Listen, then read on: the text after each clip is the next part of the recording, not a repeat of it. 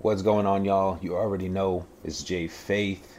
Welcome to episode 104. We have a special edition for you. We are live here in Atlanta, Georgia, here at the National Keystone Conference. Shout out to the Boys and Girls Club of America for all that they do for youth in America and on military installations here in America and around the world. Now, if you have seen a few episodes a little while back, I am super pleased to be able to be together with our guest uh, for episode 104. Her name is Janiyah, an amazing teen advocate who is doing everything that she can to benefit youth around the world. So make sure that you stay tuned, get your pencils ready, get your notebooks out. Let's get in our right mind and let's make connections through conversations. What's up? This is a new era, bringing it all together. Getting your right mind, we grind, we do it forever. That's the only mission. Elevated thinking is a vision. Yeah, I'ma keep moving if it's so hit. You can't stop me when I hop aboard the spaceship. Sit and watch as I make shit. I am not a human, I'm a living constellation. the same time. Sometimes. Say, say it. Beyonce wrote Single Ladies because she doesn't have a life, and that's one of her like hits. Come on, please. It's weird that she said that she doesn't have a life too, because she's so involved in so many She different things. literally is. And then like I was saying, the argument should have been Taylor Swift had just stuck to like pop, maybe country. Yeah, Beyonce has revolutionized country as a black woman, and then R and B. Like she, she's honestly done it all. She's even hit gospel. yeah. I mean, she started in gospel because she started in the church. Like, come on. then to where she What's is Taylor now. Swift, the marketing ploy for the Super Bowl? Please. No, literally, literally. That's all she's No, been. Uh, Yeah. Jordan got No mad offense. with me. She was like, "So it's okay when like they do that with other celebrities, but with Taylor Swift, it's not." I was like, "No." Every time Taylor Swift came on, like the screen, I booed. Yeah, I booed. Yeah, because it's like you score a touchdown and the first thing that they show is Taylor, Taylor Swift. Swift. Like it's not about It's Taylor Swift. It's never it's that deep. The team that just is playing. Like, chill out, relax. But Never that deep. I don't know. No, I agree. I agree. When I first saw saw that, I was like, I was mad. You can't t- like yo. You can't tell me that this is not staged for Oh, the Super. Bowl. Your team actually makes it to the Super Bowl. This stage. Some of those uh, like calls, they were not. No. Some of the calls they called on the 49ers, that was not it at all. Like we were, I don't even. I'm not a football fanatic. Like I'll go to. I like college football games. I really do. Yeah. But like when it comes to the NFL, I think we put way too much pressure on me to choose a dang team. and so, well, as It's a a kid, thing. I was a hustler. So I uh, at church, I remember this one person paid me five dollars to be an Eagles fan. I took that money too. oh yeah, yeah. Like I'll rep an Eagles jersey real quick. I didn't even put the jersey on. No? I just took the money. Hey, fair, fair fair. Five bucks. Listen, I my we did a staff outing to an apple orchard, and my buddy, which I was like, dude, say less.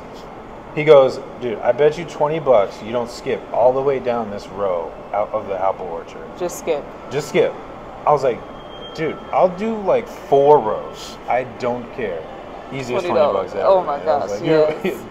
It was in the Venmo. It's that hustle five mentality. minutes later. I was like, listen, You gotta have hustler's mentality. listen, I do not even care. It's a dog eat dog world. Twenty dollars? Oh yeah, that Heck goes my gas. to skip, to skip. Come on. I'll sing skip to my little little Yeah, dog. I'll sing a song. Why wouldn't y'all let me sing Barney?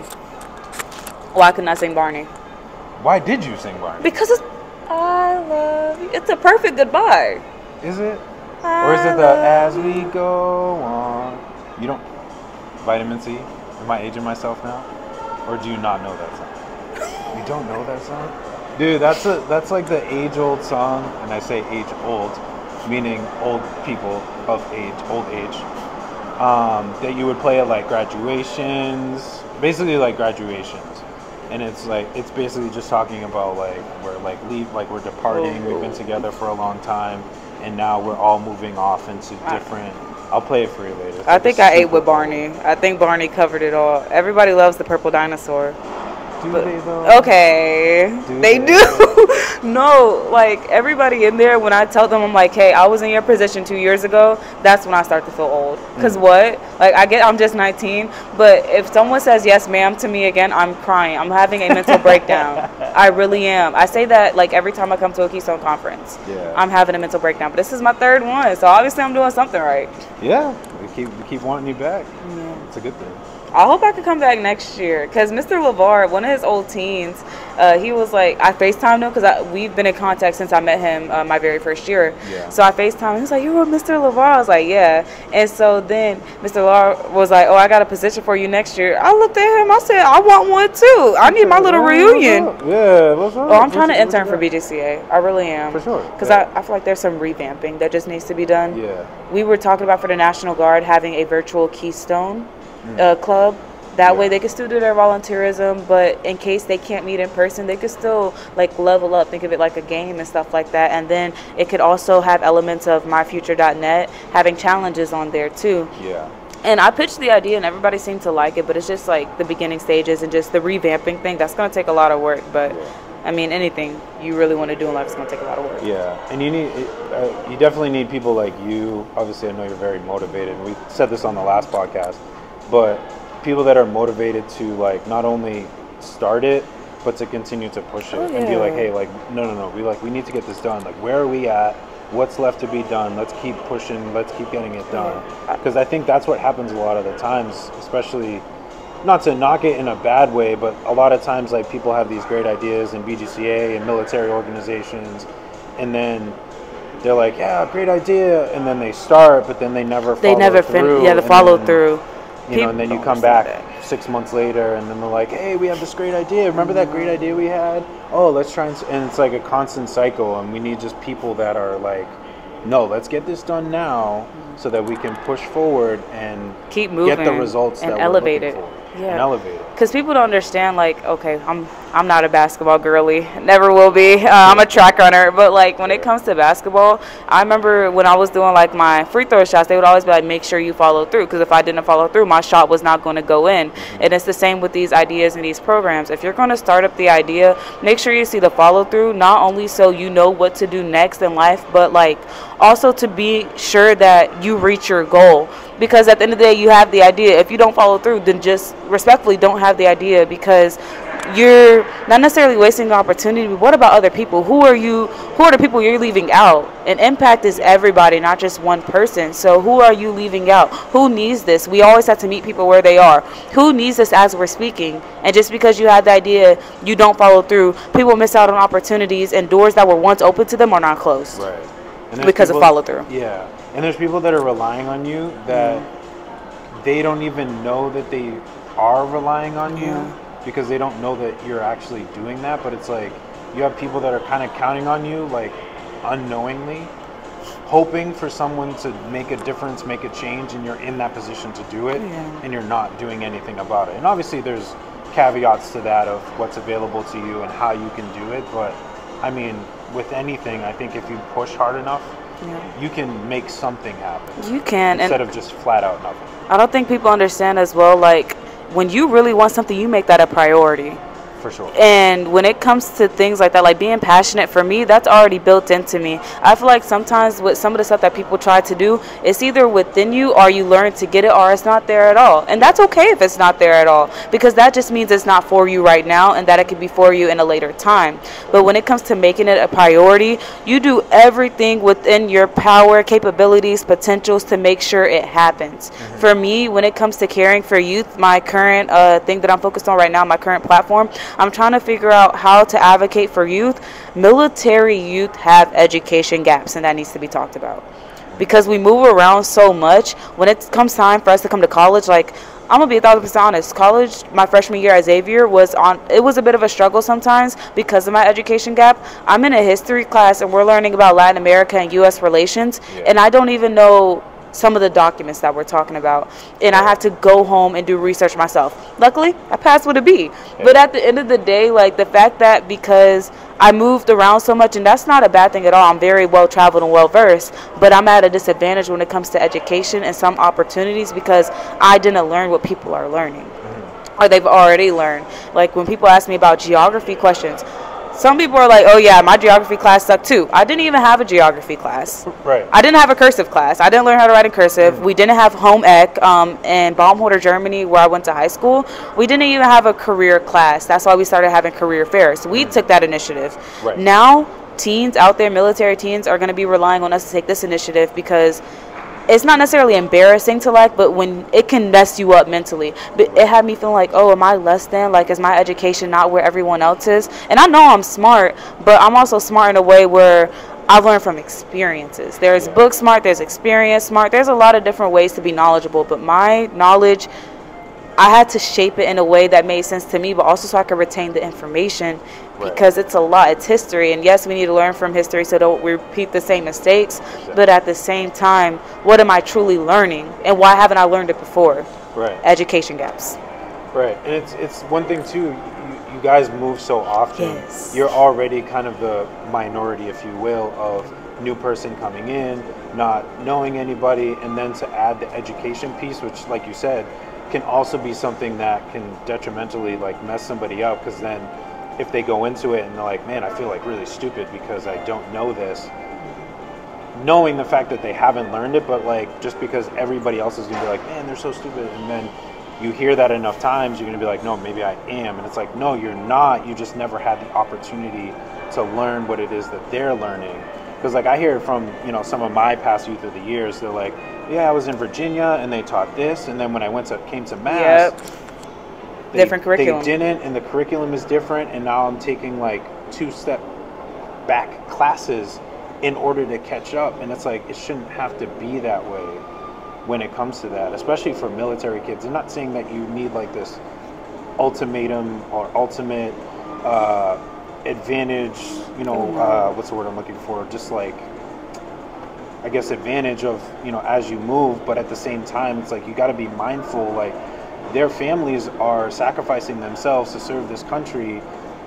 They didn't necessarily choose the life, so we have to have some grace with that and allow them to be able to kind of mold into wherever they're going in a much easier way without causing those detrimental effects of like I feel stupid because I don't know what these people know. Yeah, and then it's also hard because some colleges they do have the resources, the tutoring resources, but you don't know where exactly your education is short until you are in that class and you're trying to learn and not retaining the information. So I feel like one of the first steps that we're gonna have to do is get data. Of course, we love doing that. gonna have to get the test, um, have kid like military youth compare them to someone that hasn't moved their whole life and see where the education is, and then also help that youth identify. Okay, so one of your weakest subjects is math.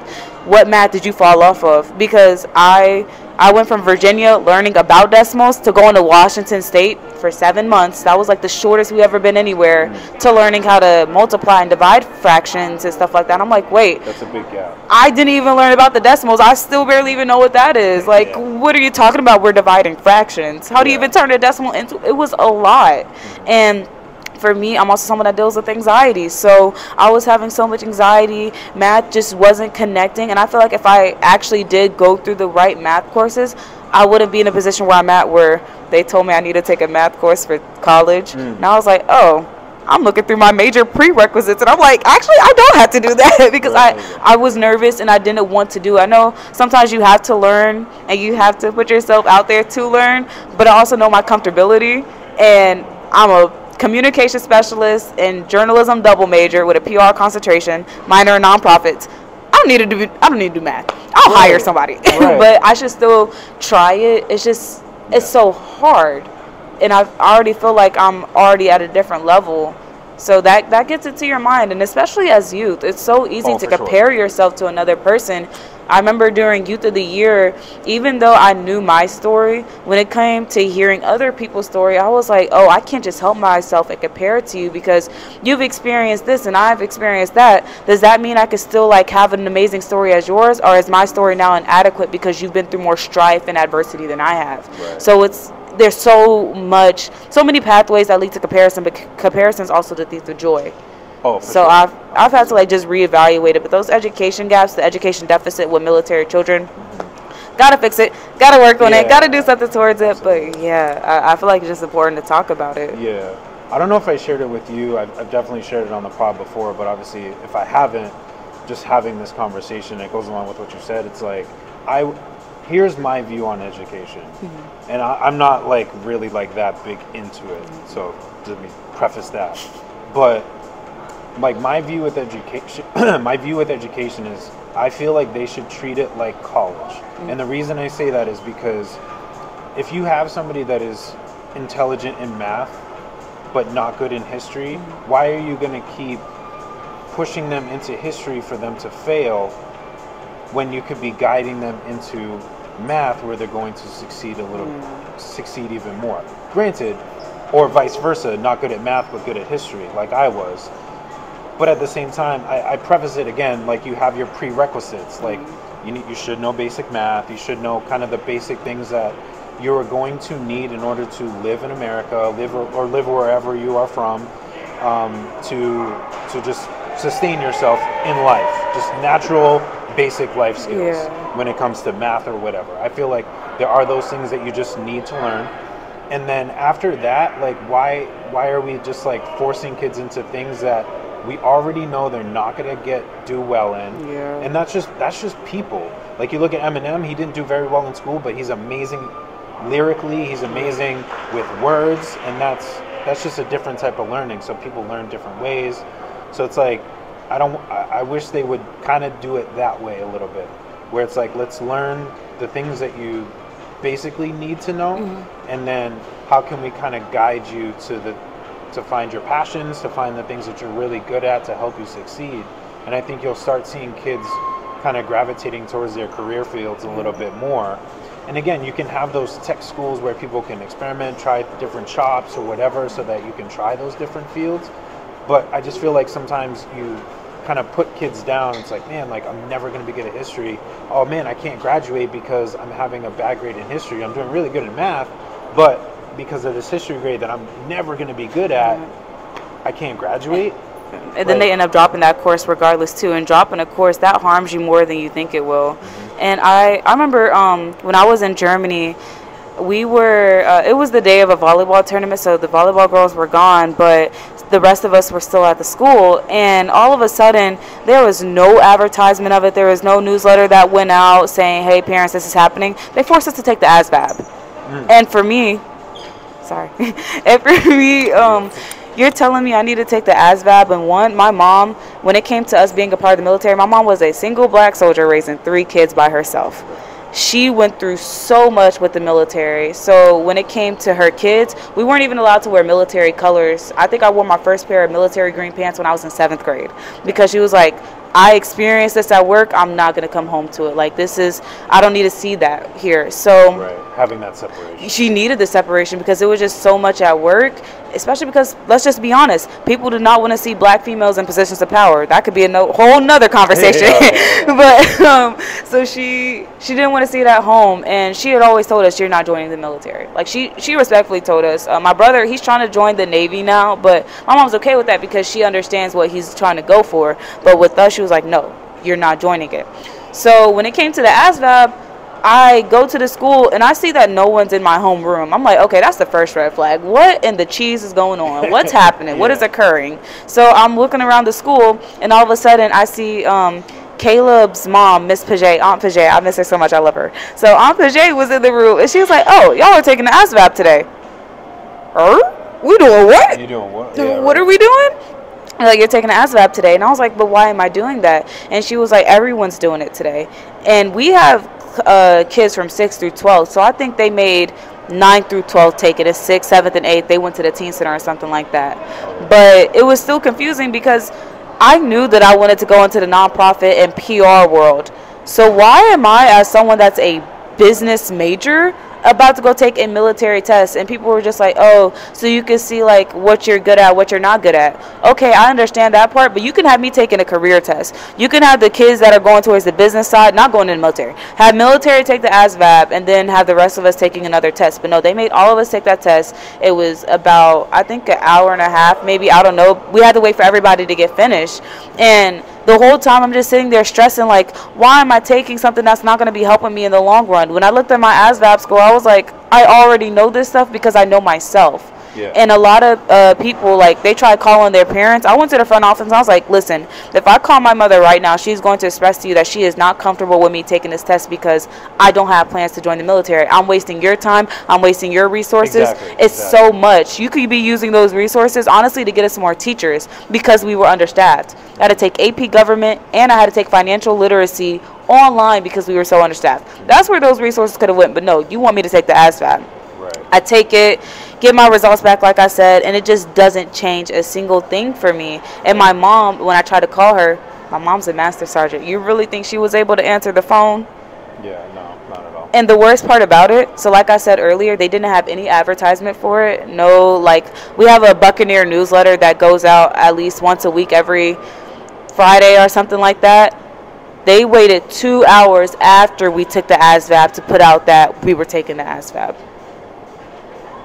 I feel like I, I to me that's like intentional Ah, because oh, it's yeah. like you you made sure that you well your bases aren't really covered, but you made sure that nobody could stop you from pulling kids to not do that because they probably knew that if they had put this out and been like, hey, kids are taking this, They would have pulled they would have pulled so many kids and been like, no. Parents would have said it, or the kids would have been like, no, I'm all set. And it's like, especially with the military, and again, I'm not knocking the military. It's like you either know or you or you you you know and you know. Like I know I'm going to go in the military or I know I'm not going in the military. Like if you don't understand what the military consists of at least on a basic level, you're probably not going to go in the military. More than likely not. Granted, like you may not know like what boot camp is going to consist of or whatever, but like you got to have some idea. Hmm. And it's like if I'm going to push forward with that, then I'll start taking these hmm. tests. I'll start doing all this other stuff to prepare myself for that. But if I'm not interested, why am I again wasting resources, wasting time when you could be applying that elsewhere? And And that was my senior year as well. Like at that point, I could have been checking to make sure my college applications were going through. I could have been updating my resume. We don't have that either. I feel like schools need to in- like okay, I'm putting a lot on schools, but we also have to realize schools do not have the necessary resources they need to teach these future generations. Yeah. I've talked about education gaps, but also the career and technical field. A lot of students now that I see, they have trade schools available. But when you're a military kid, you don't know about it until someone that knows about it tells you about it. right, And that puts us at a disadvantage. Let's just be a thousand percent honest. I feel like if I would have went to a trade school or had more hands-on experience with PR, I would be in a very different position than I am now. Right now, like people on my college campus knew that they could text me and be like, "Hey, could you design this business card for me?" I had a whole system. The first business card, I do it for free. That way, you can not only get your business up, but you can start to have a trust with me. You can start to bond with me and everything. And then the next charge, uh, the next card, I charge you for, or the next flyer. I charge you for. But I had to do that myself because I had no other way of learning how to be an entrepreneur. And another example, I've I haven't heard of anyone taking uh, home ec classes anymore. yeah. The there's Again, the basic life yeah, skills that you don't learn it.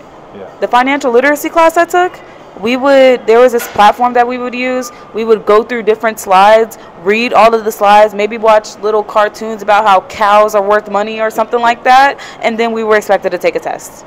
Yeah, that's yeah. I had the highest. I remember one time the principal came to our classroom because we were juniors and seniors at the time. I was a junior.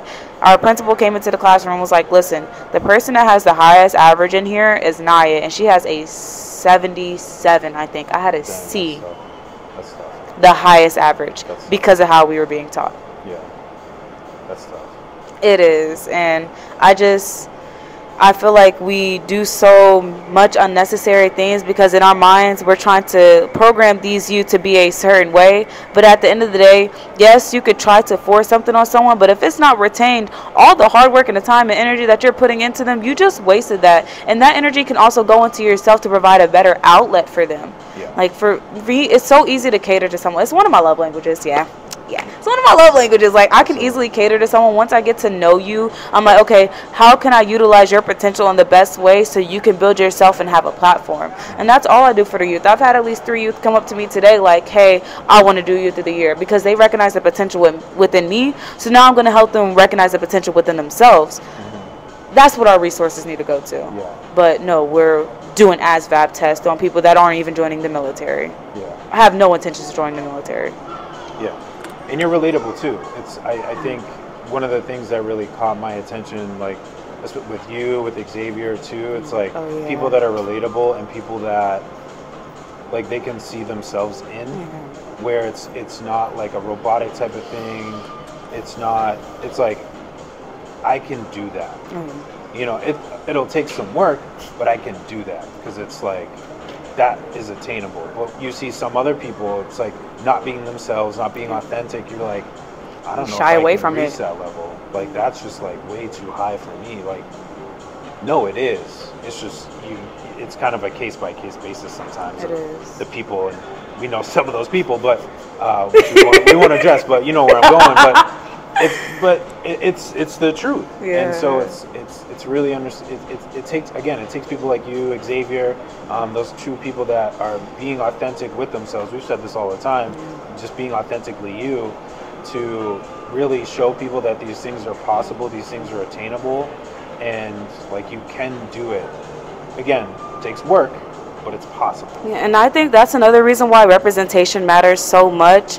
Like for me, with all the stuff, I'm not a very political person. I'm gonna just put that out there. I'm really not because I feel like at the end of the day, there's so many different routes to go with politics. But if you choose this wrong one, you're aligning yourself with something you thought was you, but it isn't even you at all. You can't just go one route with politics. It's, it's too much. So I'm not truly into. it. I just make sure that at the end of the day, the country that I'm living in, I do my part.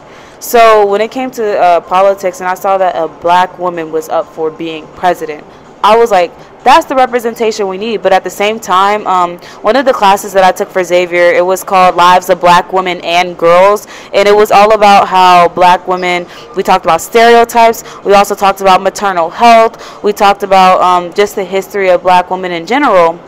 You owe us a lot. Anyway, I want my reparations and my auntie's reparations and my auntie's auntie's reparations. But um, I need that on a shirt. so it was just that class. It was so monumental to me because when I look at Kamala Harris and I see that a lot of people like they're standing for her, but then there's other people that are like, why are we putting a woman in a position of power, especially a black woman?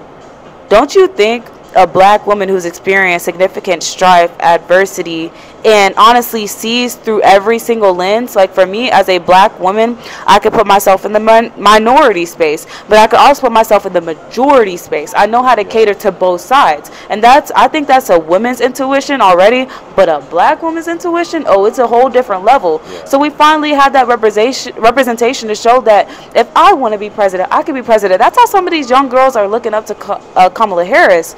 And that's the same way we need to be when we go out and represent ourselves. When I come to BGCA events, I remember the first year, someone expressed concern to me. They were like, okay, we see that you're the hype woman and everything, and we love that for you. But are you going to be able to keep this up every single year as you grow?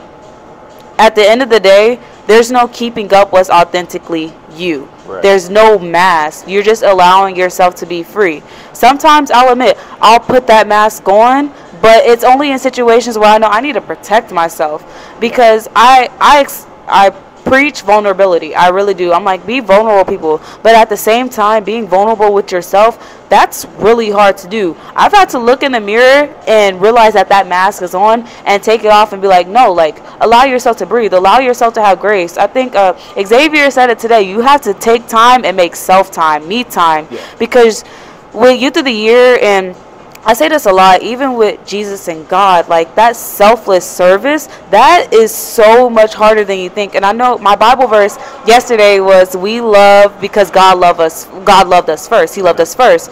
And I see that. I'm like, okay, the reason I'm able to love people as fiercely and as hard as I do is because God loved me so much that he sacrificed his only begotten son. But at the same time, I have to appreciate where Jesus came from and the strife that he faced because there was a moment where he looked back and was like, I don't want to do this. Like Yeah. he had to talk to God and be like, listen, three times he asked yes. three And times he asked him it's crazy that Jesus, the person we know as the most selfless person ever, doubted. Yeah But Really? it's okay. human, yeah. He's human. That's the part that we're forgetting. So when it comes to this, when it comes to this selfless service and all that we encompass in this representation, we have to realize that authenticity is more than just being yourself. Is being able to let loose, being able to take a deep breath because we're all holding in a breath. We really are. Every time we enter a new situation, every time we enter a new problem, every time we're in a new environment. It's so much to take in, but you have to let it out. Yeah.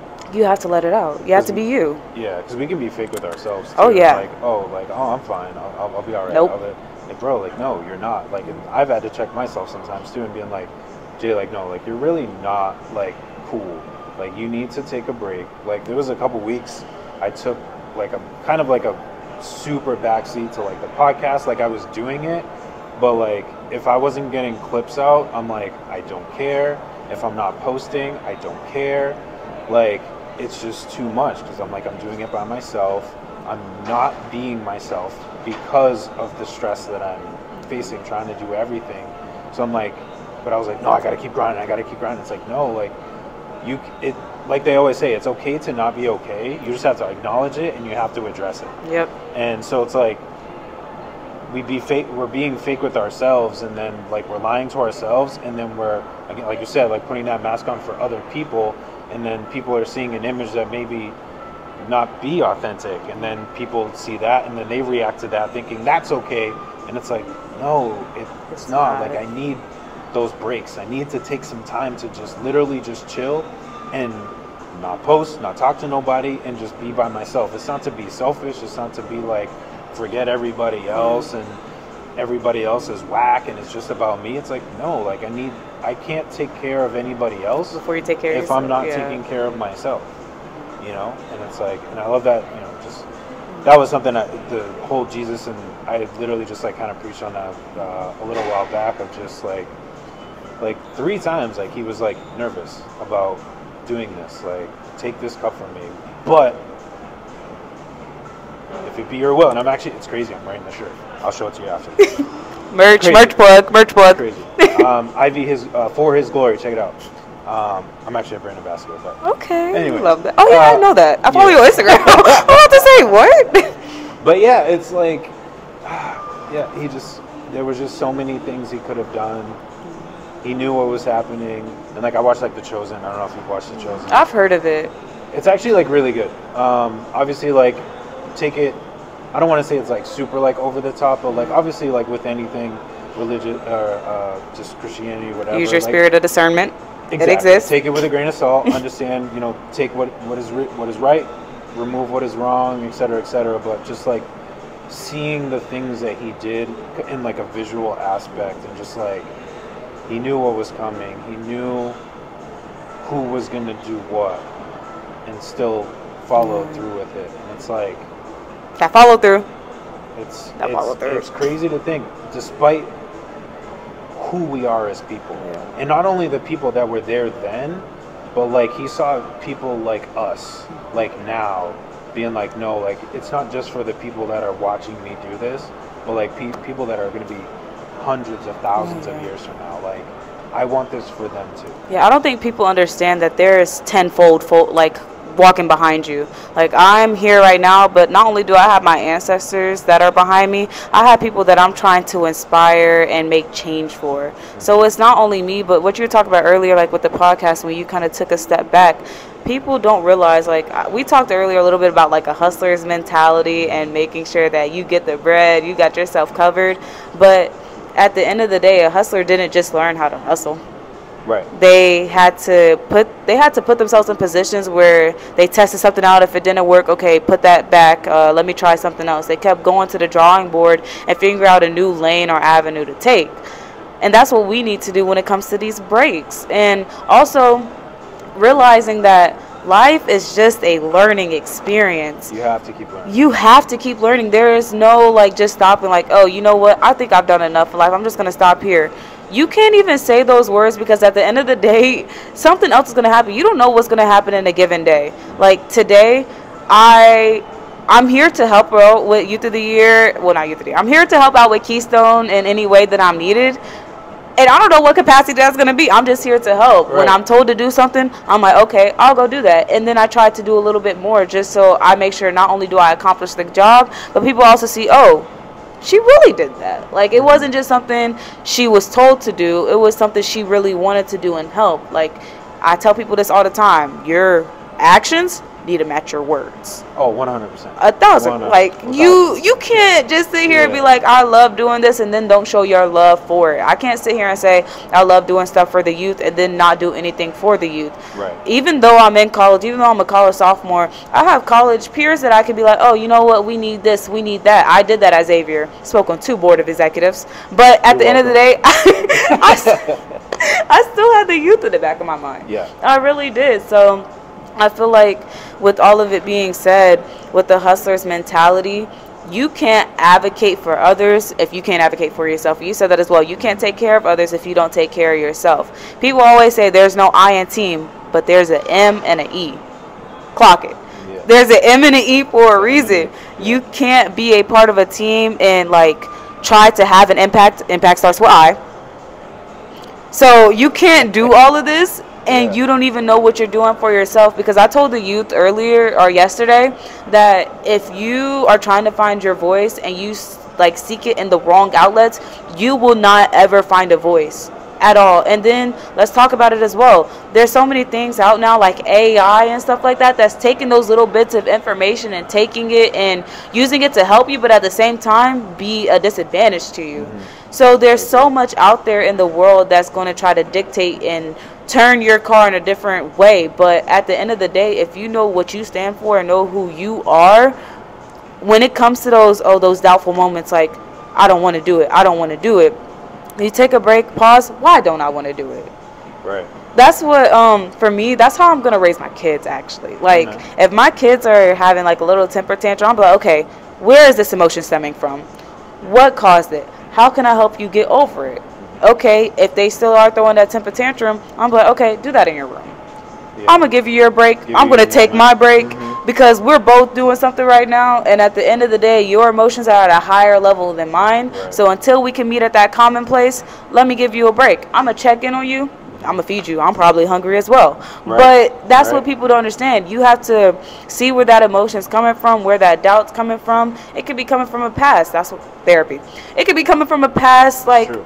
Trauma you've been through. So it's so multifaceted when it comes to taking care of yourself. But the best thing that you can do, I think it's uh, Lamentations. I know it's three. I don't know exactly what verse it is, but it says in times of like great uh, adversity, go off and pray.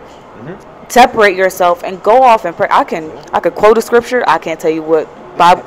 I'm getting there, Yeah, yeah. but It says go off and pray and seclude yourself and people don't realize it says it for a reason because it also says to not lean on your own understanding. And it also says to guard your heart.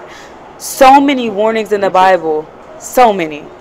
But at the end of the day all of it stems from you making decisions that impact your life and then others. But your life comes first. You that's the God honest truth. You have to put yourself first, well, God first, then yourself, because you wouldn't even be here without Him. You're His creation, and He's made you in the way He has for a reason. You're a masterpiece, but you're also a masterpiece trying to masterpiece. Hey, now she preaching. So put yourself first. That way, you're in these positions to advocate for education gaps, to see that women, that black women are in power, to know that even though you feel like you can't do it now, you can do it in a later time in life. There- It's so multifaceted, like I said, but at the end of the day, it starts with you. Well, it's true because like separating yourself because you have to. It, it's kind of like intermingling uh, a lot of the stuff that you said, where it's like you don't want to react to the situation and the emotions that you feel in that instant because it could be the wrong emotion Oh, yeah. of of what is happening. And two, like you said, the person may be just in a certain moment reacting reacting to maybe something that happened five days ago, five Yeah. years ago that you don't even know about, and your your response could either add it could add more to it because it's what they've already been had trauma with, and now you're just adding onto it and making the situation worse. Granted, sometimes you might get lucky and it might you might help and whatever, but it's like you have to go and kind of analyze the situation like what is my reaction going to be?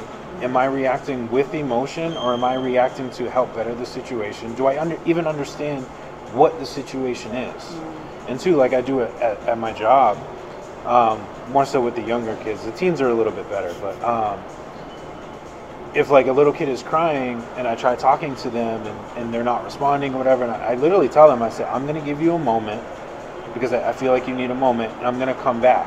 And I'll kind of like distance myself, like where the camera is, and I'll be like over here, and then some of the kids will come over and be like, Mr. Justin, Sarah's crying, and I'm like, no, I know, like I recognize that. I'm giving her a moment, and usually like they kind of hear that, and then they kind of like mold out of that, and like I think for them, and obviously it doesn't happen every single time, but I think a lot of times it's like being able to acknowledge their emotions and not just like, hey, stop crying. What are you doing? Stop doing Yeah. that. Like, you don't need to cry. It's like, maybe they do. Maybe like they've had, I've been there. Like, maybe you just had so much bent up, uh, built up emotions and trauma and everything else that you've been just kind of compressing within yourself. That weight that we put on our own shoulders that, you know, we should be given to God that you're finally just like I've had enough and I need to just let it out. And some for pe- some people that's crying, some people that's breaking things, putting a hole in the wall, fist, you know, punching a wall, you know, whatever it may be, whatever that outlet is, going to the gym and working out for 3 hours, like whatever it is, but it's like you have to see it twofold. Oh, yeah. You know, how are you responding and is that going to make the situation better, but also understanding where that person is coming from, their perspective and what they've been through because like I said, they could be reacting from trauma that was 5 days ago, 5 years ago, 10 years ago mm. that maybe they didn't recognize was even there at the moment, but you said something or something happened in that situation that triggered them and now they're in a spiral that you're trying to handle that you may not be handling correctly. I remember um, I was talking to I think someone I had met at a Keystone conference. I'm not sure where the conversation that came from, but we were talking about I think his name was Too Chilly or something like that. I still follow him on Instagram, but yeah, uh, we Too Chilly. Chill dot two x I think I don't know, but yeah. So we were talking and we had a conversation about like I'm I'm talking about black kids because that's my perspective. Black kids do not know how to communicate, and I'm gonna tell you where that comes from. Fix your face. When we go into the store, don't Yeah, look at yeah. nothing, don't touch nothing. Yeah, I mean. Like stuff nothing. like that. You walk into a store with limits. You walk into a room where fix your face. Oh, that means I can't truly express my emotions, and I'm not like my mother's gonna watch this. I'm not calling out my mother. I'm not Yeah, saying yeah, anything like that, but I'm saying it's passed down. People don't realize, so it's called an enduring legacy. Like it goes from one generation to the next generation to the next generation. And uh, black women, we have this enduring legacy of being stereotyped in different ways, but also being silenced. People always are like, oh, this little joke, were you silenced or were you silent? No, we're silenced on a combination of already being silent. And when it comes to that, it's so scary to finally use your voice because you've been put down for so long. So that's another blockade or limitation or and honestly, kind of overstepping a boundary when it comes to communication. Black I wanted to do a this thesis on it to be honest because I feel like if I ask my black peers now like, "Hey, what is a phrase you were told as a child like that kind of silence you they might say fix your face or uh like of course that little phrase i'm not one of your little friends. Like i've met parents Yeah. who actually act like their child's best friend and that has led to them having a better relationship. But it's not necessarily talked about because everybody sees one perfect cookie cutter answer to everything. I'll be a thousand percent honest. Like people think it's just yes or no. What about the gray area? It's not There's always just black and white. It's boundaries. it is. It's like being able to be their friend in order to have that relationship where it's like if I have something going I can on, talk to you. I can communicate with you, but at the same time, like understanding, like no, I'm the parent, Mm. and like you gonna respect. Me. Oh, most definitely. And people 100%. people take advantage of uh, respect as well. Like for me, there's people that will text my phone to this day, and I'm gonna just be a thousand percent honest. At college, I was that helpful person. I always tried to be. If you need something, I got you. But it was to the point where people would text me and be like, "Hey, Naya, can you help me with this assignment?" Before saying, "How are you doing?" How's how's your day been? What Do you need out of it? anything? Yeah, like it's automatically. How are you going to benefit me today? You I- know what? I'm not going to.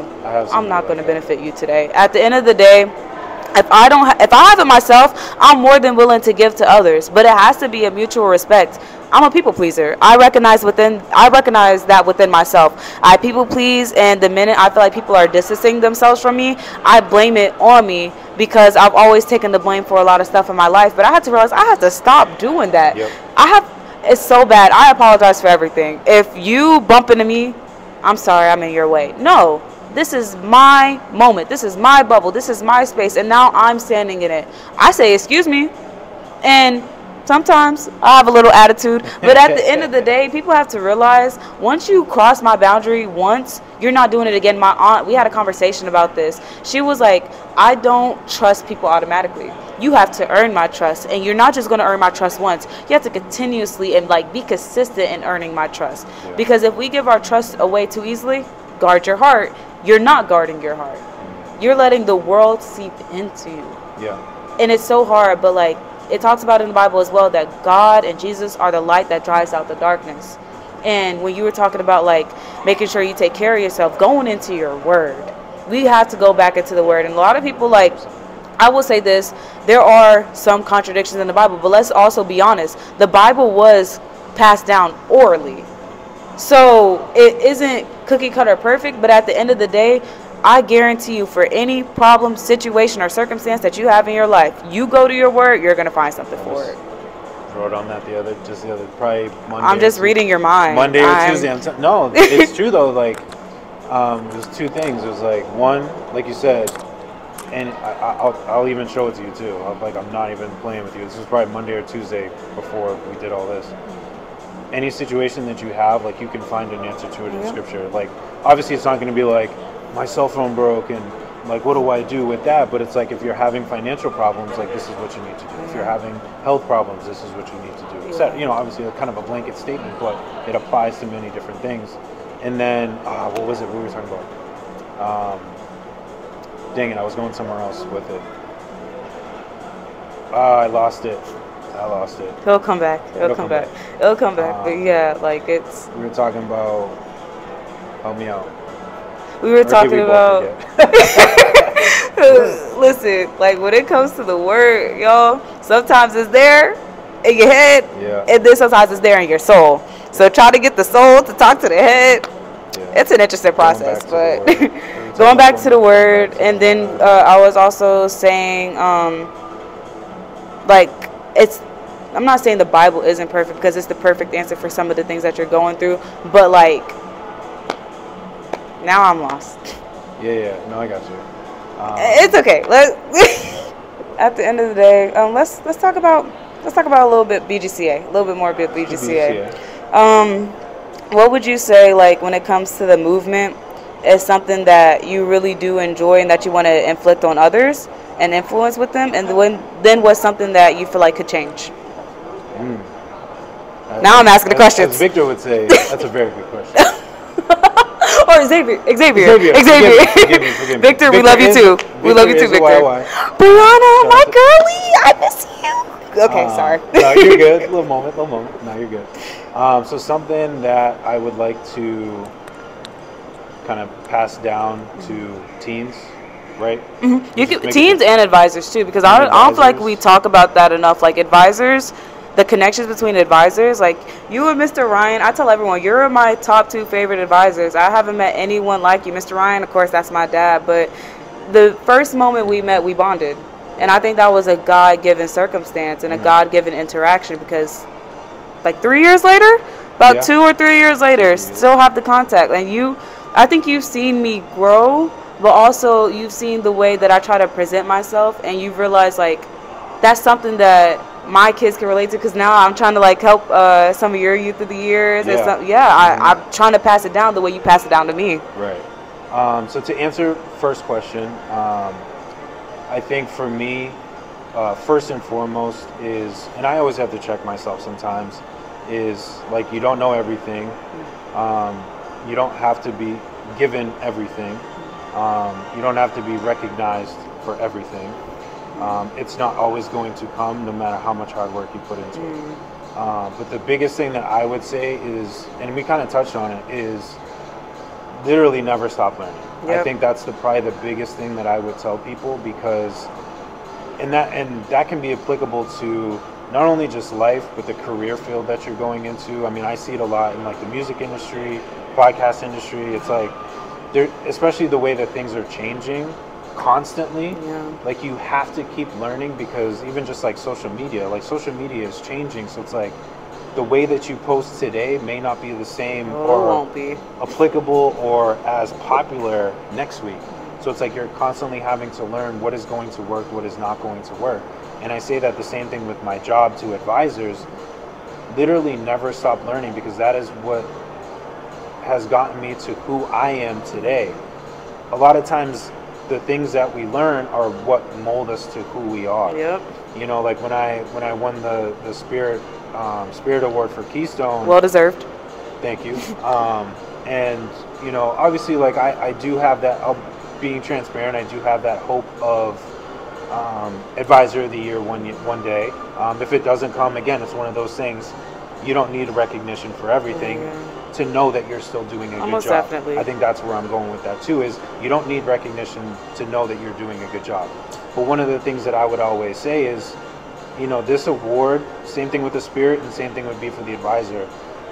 This award really is for all the advisors that have ever poured into me Oh yeah, most definitely. because I wouldn't be who I am if it wasn't for all of you. And that could be just a simple conversation and just one nugget that I took from you. Like I'll shout out Miss Christine, even just this week. And it's something so simple, you know, with the whole glitch with the airports and stuff. And she was just like, "Yeah, did you know that you can link the the red the confirmation numbers so that you guys can be under one thing, so that you can fly with unaccompanied minors, so they don't stop you at the airport like they almost did on Monday, and my kids almost didn't get to come here because they said they couldn't travel." It's like things like that make my job easier. It may seem like something so simple or so small, but it's like the next time that I do a trip and say there is that glitch again, I know what to do, Yeah. or I can just do it in general and just kind of avoid any of those obstacles in the future. And again, Mr. Ryan, um, Mr. Davin, um, just so many people. Um, uh, I could the list can go on and on, but just so many people that have poured into me again, either little nuggets or just times coming to Keystone conferences and just pouring into me um, with just little bits of knowledge that I've just literally taken back and been like, how can I apply this at my program? How can I do that? And that's what advisors need to do in these situations. I know sometimes like the sessions can seem long, they can seem boring, but Not like bo- boring. a lot of talking. A lot of talking. Yeah, a lot of talking. Honestly, like take take the things in. Again, Oh, it's yeah. almost like with scripture and, and things that we see. Like take use your discernment. Take what you need and take what's not going to work or what's not applicable, and and go with it. Or take a nugget and then see how you can flip it Mm-hmm. to what is going to be applicable for you. So for advisors, like literally, like keep learning because again, things are constantly changing, and we're not going to know everything. Our kids are going to be changing, and you never know. You could have that, and to kind of go to almost to you, it's like don't be afraid of who you're learning from. Oh. Yeah. and I can take that to scripture. There was, and again, I'm, I'm not fully known on scripture, donkey or goat. Um, the goat even taught the guy a lesson because he was trying to kick the goat in one direction, and the goat was seeing an angel trying to guide him in one direction. And he's like, dude, do you realize that this goat or donkey or whatever was trying to save you from death? Like, you were about to die, and this goat was teaching you a lesson and talking to you. So it's like, don't be afraid to to of who you are learning from. So I say that to say, like, again, youth of the year. I sit and listen to the teens. Tell me your story. Tell me what you guys have been through. Tell me here, what is your installation looking like? What are you guys dealing with? How are you dealing with it? Yep. Because that could be stuff it could be stuff that we're also dealing with too that we can be like oh i didn't even think of that. But it's like if you don't give people the opportunity to speak mm-hmm. and to share and, and to get to know them and understand their story Silenced. exactly you're never going to you're never going to grow and you can again you could miss out on opportunities of things that you can add. And again one of the breakout sessions that we had for this is like you know figuring out what the what the need is in your program. And one of the things that the, our kids brought up was a lot of times not so much in our youth center but like in the schools and sometimes even with parents it's like they don't want to deal with situations. They don't want to deal with the kids. It's like oh put an ipad in front of them or oh you'll be fine. You know you're being bullied. Oh you're, you'll be fine. You're just like you're just Oh, not, tough skin, like toughen up or yeah something like like they, they're not acknowledging it. So then by the time it comes to it they're being silenced and they're not saying anything anymore. So that when you're giving them the opportunity to speak, they don't want to say anything because they have nothing to say because they feel like, what's the point? Because when I did say something, you weren't listening. Oh, yeah. I, you didn't care. I know. Um. So with that class I was talking about earlier, earlier, lives of Black women and girls. We talked about different forms of injustice, uh, especially at the epistemic le- level, and we talked about like, the epistemology of ignorance and how like we could confirm to a certain set of like rules or certain biases, and it's wrong. But because we're as a, a society believing in it, we're all right. But no, you're not at all. And we also talked about like testimonial quieting, like when people are silenced because they automatically assume like assu- they automatically assume things about you. Stereotypes or they just think your story is going to be this way because you were raised this way and now i'm going to put that on you. No. Your words have power. You don't realize you could put a story onto someone and then that story actually becomes some part of their life. Hitler. it, it's bad. Just because everybody believes it, not to cut you out, Oh, not, no, you're just because everybody believes it doesn't make Oh, yeah. doesn't mean that it's right.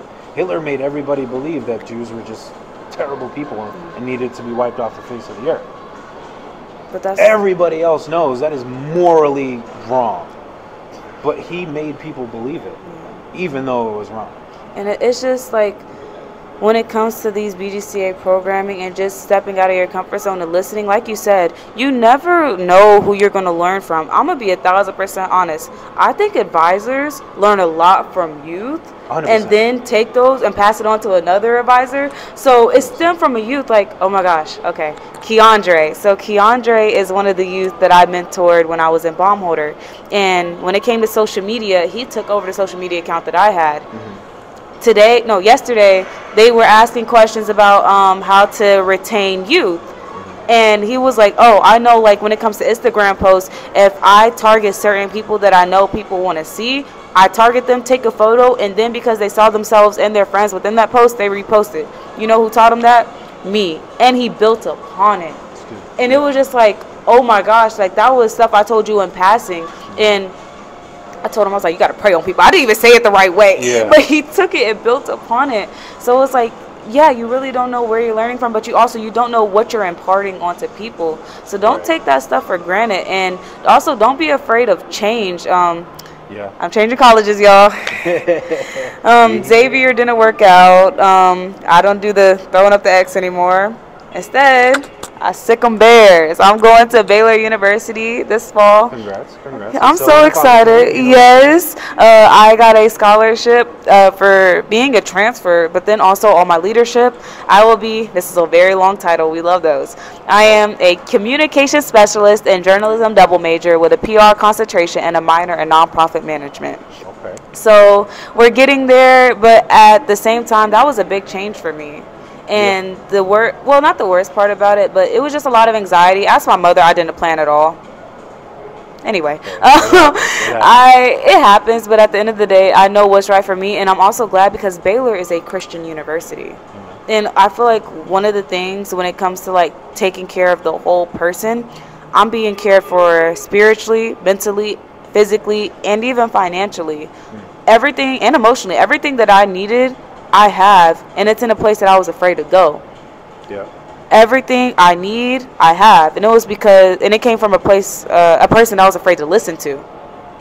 So it all connects back though. Like people Yeah. don't realize that. So like with the influence part, I would say definitely like don't be afraid to partake in getting information, but also don't be afraid to like use your voice and give information and give advice. And I was yeah, ended with that. Yeah. And that's what I was. I I've been thinking about this like as we were, you know, kind of agreeing to or trying to coordinate, mm. sitting down and talking is is the fact that you know, which not a lot of people do. Again, kind of going back to what we were talking about mm. is like you being able to recognize where you were at and being like, this isn't for me. This isn't where I need to be, and finding a way to making a Oh, yeah. change. Which again, it, it can be a big scary change. Oh, it was especially scary. changing schools and and from one location to another and you know distancing and family and everything else like that's a big transition for a lot of people. Like i've thought about moving to texas and i'm like man like the impact that that can have like moving away from my mom what do i do? You know do i move there? Do i rent? Do i wait? Do i buy a house? Do i you know like just all these different thoughts that can go through your mind and it's like you know, being able to recognize where you're at and being like, no, like this isn't for whatever reason that you left, you know, whether it's mental, physical, whatever, whatever, like recognizing like this isn't okay for me and I need to do something about Yeah, it. I don't think and peop- doing it. I don't think people realize like that inner voice in your head. Sometimes it could be like someone that said something to you a long time ago that completely destroyed you. Because sometimes that was me. That was a family member that said something. I was like, now I hear that on repeat. But also that voice is you. It's some figment of yourself. It could be a guilty conscience, or it could just be something. Like I said, someone imparted on you. For me, when I was at Xavier, I kept on telling myself, it'll be fine. Like it's okay. Everyone deals with adversity. I kept invalidating myself because it's like i'm a college freshman. Like it's not going to be perfect. No nothing Yeah. nothing is truly perfect but at the end of the day i'm here. So i kept on saying you'll deal with it. You'll deal with it. I couldn't deal with it anymore. It was to the point where I was having mental breakdowns in my room. I would seclude myself. I had people come up to me and be like, "Nah, you're like, I know you're involved in a lot, but I don't see you around campus anymore." I'm like, I chill in my room. That's literally all I do. I would even like take my dinner in my room. I mm. didn't want to be out anymore. And it took me realizing those small, insignificant changes that I thought were insignificant were actually leading to me not even feeling like I was belonging at Xavier anymore. And the first time I said I was going to transfer, I was like, oh, I, I'm going to do it. But then I didn't even apply to any single college mm. My mom she thinks it's because of ill planning but honestly it was because my final straw it took me so long to get to that point. Don't ever do that to yourself because then another thing people don't realize the way you allow people circumstances and environments to treat you is telling of how you love yourself. Yeah. you're telling people how to love you if you let them constantly run over you or if you let them constantly belittle you and diminish your spirit no the only person you need validation from is god. The only place you need to seek validation from is the bible. And the only place that you really need to engage with others is in your kingdom and in your community. That's literally it. And even then it's not always your community because not everyone has the same accord as you. But at the end of the day when it came to xavier i knew that i wasn't in a place where i could continuously grow. If you feel like in your garden that you are currently a weed, you need to do whatever you can to turn into a flower.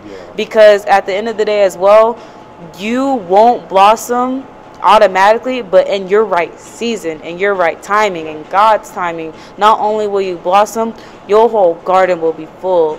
And I remember Miss Kendra was talking. I love Miss Kendra. Miss Kendra was talking to me. She was like, "In life, you're going to pull weeds, and then you're also going to pull flowers. But then those flowers could turn into weeds. At the end of the day, you just need to pick the weeds out, regather yourself, and keep it moving." And that's what I had to do with Xavier. I had to realize that I wasn't growing, I wasn't at my fullest potential, and then I had to find a school that matched that potential and that showed that they cared. Because people don't realize, like with colleges, if I don't feel connected to it, I'm not going. If I didn't feel connected to BGCA, I'm gonna be a thousand percent honest. I would not be at these events. Mm-hmm. There's a reason why I keep coming back. There's a reason why you're in the position that you are. Sometimes your circumstances you can't control it. But other times you control your circumstances or other times you let your circumstances control you. And that's not what it needs to be. So when it came to this i kept letting my circumstances control me. And i can't do that. I had to just give it to god. I let go and let god. Now i'm at baylor university and they they post bible verses. Like i love y'all. They post bible verses and it's bible verses that i can relate to. They'll do like a post maybe every week and it's like a Bible verse, a picture of the campus, and I see people commenting "Amen" or reposting. I can't repost it yet. Dang, I wasn't even supposed to say I was going to Baylor. I can I can do No, no, no, you're good. It's fine now. Like my family knows. Everyone that needs to know, no, I'm going to Baylor. So yeah, that that's the. Oh, yeah, that's right. Because I remember, like, you put like, where, guess where I'm gonna go? Guess it's okay. go?" It's okay. I love y'all so much. I'm just gonna say it anyway. But like I said, don't. Oh Lord, complacency. Complacency is a form of self harm. I think I said that last one. I think I said that on the last po- podcast. But it's so true.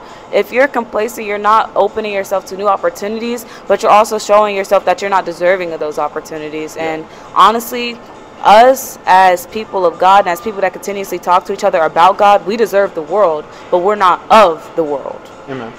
Hundred percent. Clock it. Yeah. I need to stop doing that. No, it's true. Like I, li- I like what you said about you know just letting situations control you, Oh, yeah. not control you, because I think sometimes you are put in certain situations that may look challenging, but you're meant to be there for Almost a reason definitely. to help fix it. But again, be mindful to make sure that those situations don't start controlling you, that you mm-hmm. have a handle on it, and also understanding that you are there for a purpose. And make sure that you fulfill that purpose. Talk to God, understand what that purpose is. Because again, preparation.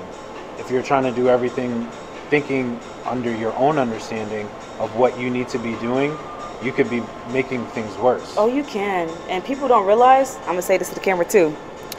You can't do everything, but you can do anything you put your mind to. I feel like sometimes we try to take on too much because we see it popularized, we see it romanticized, mm-hmm. we see it put on such a high pedestal that we try to put ourselves on that pedestal, but realize there are certain steps you got to take to get there.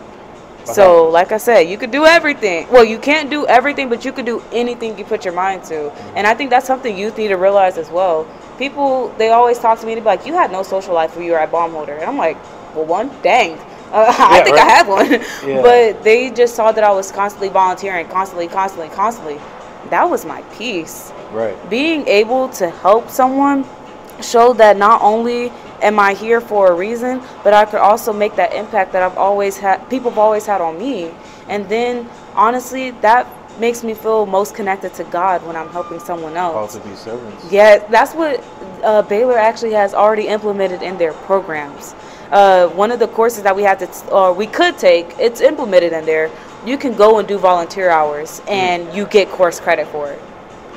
That's the selfless part that people don't realize. And yes, selfless is less as self, but self is still in there for a reason. Doesn't mean you completely disregard yourself. It just means that when it comes to helping other people, you're still there, but they're there with you. It's, you're not alone. And I hate when people say, like, I feel alone. There's no such thing as feeling alone. You feel lonely, but you're never alone because not only do you have God by your side, you also have His Son and the Holy Spirit. You have the whole Trinity. Does it get any better than that? You got everything that you need. You do, and honestly. you have so many, so much in your arsenal.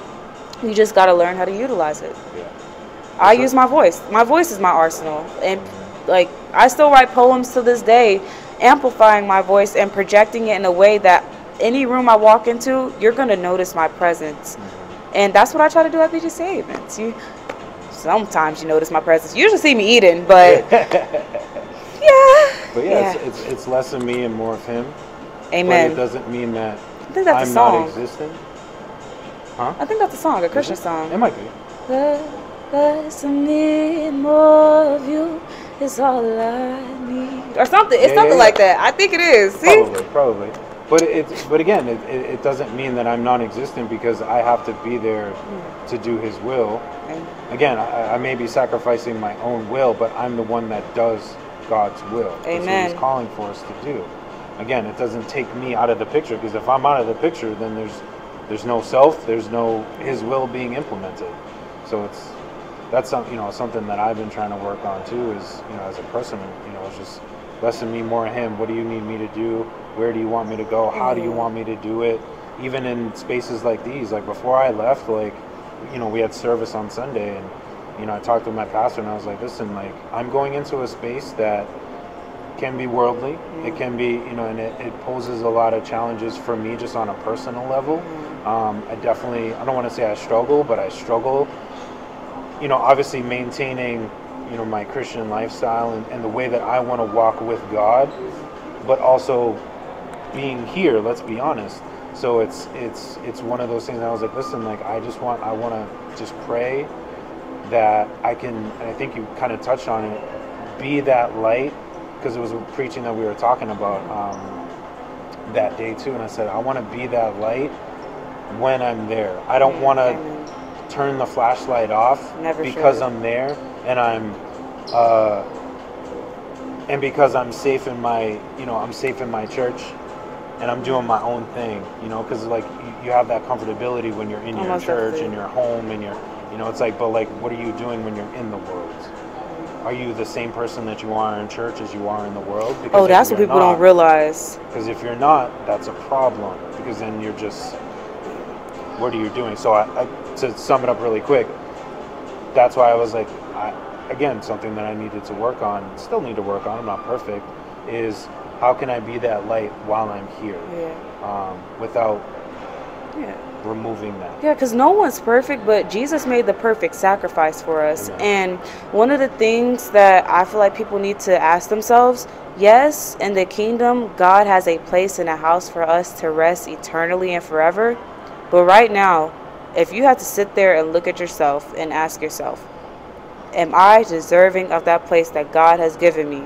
And you say no, that means it's time to go immediately back to your word because it's so hard to not become of the world sometimes because it's For all you're surrounded abo- around. Like even at college i would say i myself slipped up a lot of times to be honest. And whether that was the way i was acting or the way i was talking to people trying to fit in i had to step back and realize like if I truly am trying to have these Bible verses in my bio, if I'm trying to sit here and repost, oh, Jesus this, Jesus that, but then I'm sitting over here talking about this, that, and the third, or I'm doing this, that, and the third, am I really being what I'm representing, or am I trying to represent a model? And God is a jealous God. Let me tell you how quick He got me.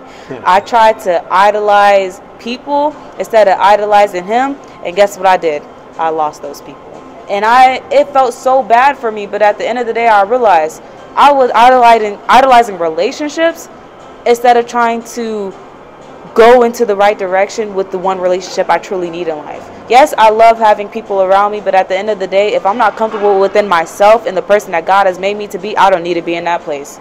If anything, that door is locked.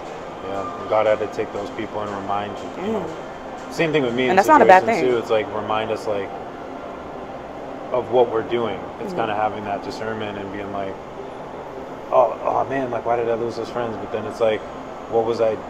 Yeah. Who was I replacing with those friends? Ask those why questions. did they leave? Yeah. You know, and that's the Holy Spirit. That's the Holy Spirit talking to you, being like, bro, we took these people from you because you are focusing on the wrong things. Mhm. Now I need to remind you who you need to focus on because a lot of times we go through certain things not because God wants to punish us, but to remind us that we need to go back to Him because there may be some distance that we're creating, or just to remind us that we need to rely on Him at the end of the day. Sometimes we think we can do everything. Oh. Uh, again, I'll speak for myself. This is one thing that I'm again working on is like